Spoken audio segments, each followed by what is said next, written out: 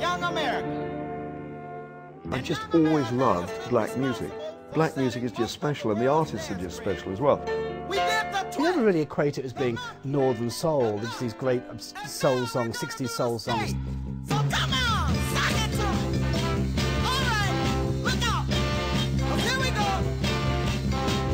There was a hell of a buzz about the place. And I must say, Everyone was flying high and loving the music and talking records, talking soul. that puts me in a The atmosphere was absolutely electric. and that rhythm just keeps building up. It's But the thing I noticed, of course, was the music. in my feet, And I wanted this.